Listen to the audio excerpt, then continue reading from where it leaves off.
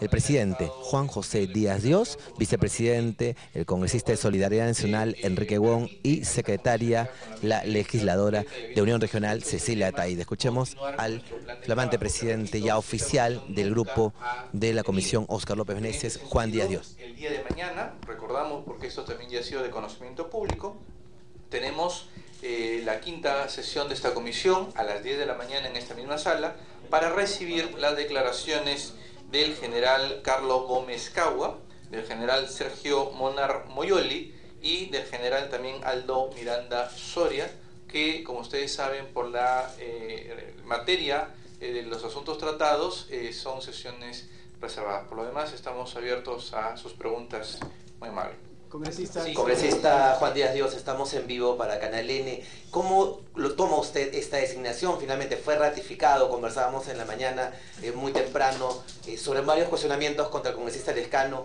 contra usted mismo, el propio Lescano ha ratificado algunas cosas por su vinculación, López Meneses con la bancada fujimorista. ¿Cómo toma usted este, este nuevo cargo, la designación del presidente?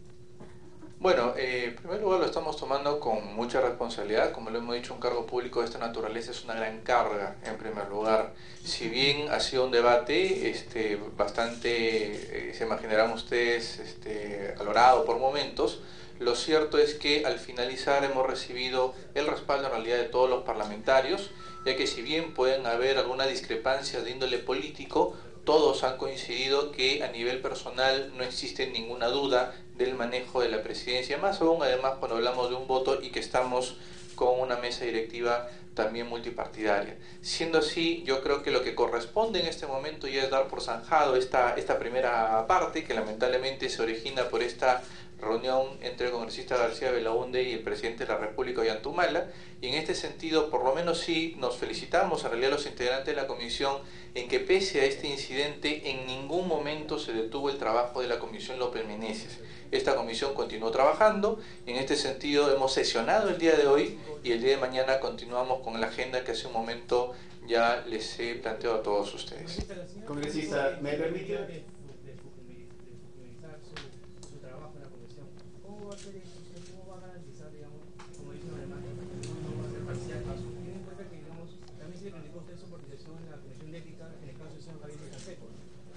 Sí, bueno, repito, son posiciones eh, que respetamos, algunas personas que tienen alguna predisposición a descalificar a todo el Fujimorismo para todo, no solo esta comisión, como usted también lo ha recordado en otras comisiones.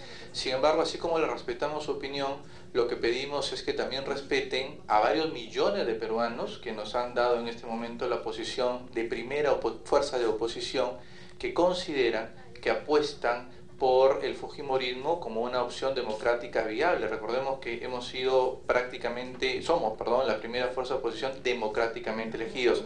Por lo demás, es la conducta personal. Reitero, eh, vamos a eh, trabajar con más empeño todavía de lo que se ha venido realizando por llegar a la verdad, por saber quién dio la orden, por conocer qué cosa es lo que se está investigando. Y lo más importante, estas sesiones no es que el presidente tiene manejo de todo lo que se hace son sesiones en las cuales, como ven, contamos con una mesa directiva multipartidaria. Las sesiones participan los siete. Eh, vamos a, haciendo las coordinaciones con el presidente del Congreso, poner toda la documentación que ingrese la comisión a disposición permanente, no como lamentablemente se denunciaba en otras comisiones, sino permanente de todos y cada uno de los integrantes de la comisión, independientemente del partido político que puedan tener, todos elegidos todos elegidos democráticamente, por cierto, todos facultados para participar en estos debates.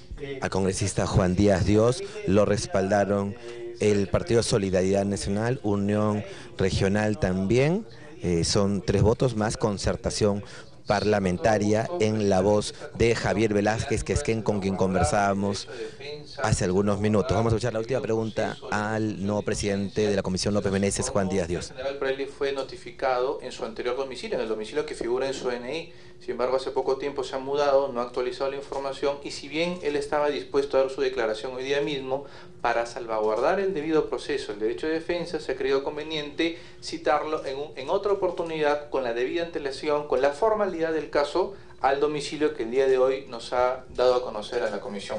Querías... No, básicamente era conocer el tema de Pirelli, pero también el, general Salazar, bueno, aunque no ha podido, no ha querido dar detalles, sí que se ha ratificado en su primera versión, en la de que fue Cueto quien le invitó. Sí, eh, yo con una precisión, el congresista, perdón, el, el general Salazar no es que no haya querido, sino que todos están siendo juramentados para la reserva de lo que escucha, de lo que se dice en esta comisión. Entonces, efectivamente podrá decir de manera general algunas declaraciones, pero eso también para informar a todo el resto de sesiones. Todos los que participan en esta sesión, los asesores, incluso los investigados, son, eh, se les pide que presten un juramento a efecto de garantizar que esta investigación se mantenga pues, lo más eh, limpia posible y podamos llegar a la verdad que es básicamente lo que, lo que, en, lo cual coincidimos todos. El argumento de la reunión entre el presidente de la República, Ollantumala, y el expresidente de ese grupo de trabajo fue coordinar ayuda para el mismo. ¿Usted estaría dispuesto a reunirse con el presidente Ollantumala?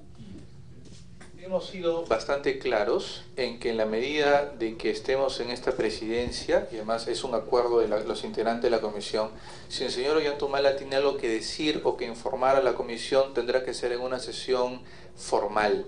Estamos dispuestos en su momento, si llega a ser necesario, a ir a Palacio de Gobierno en una sesión formal, reitero, tendríamos que ir tomando en cuenta la investidura presidencial pero de ninguna manera podríamos participar, y estoy seguro que en eso coincidimos los siete integrantes de la comisión y además del veedor, el congresista Luis Galarreta, de que no es pues lo más conveniente que quienes investigan un acto sucedido en este gobierno, el más grave políticamente hablando, eh, no pueden reunirse pues con el jefe de gobierno. Eso es algo que ha quedado claro, me parece, para todos los parlamentarios.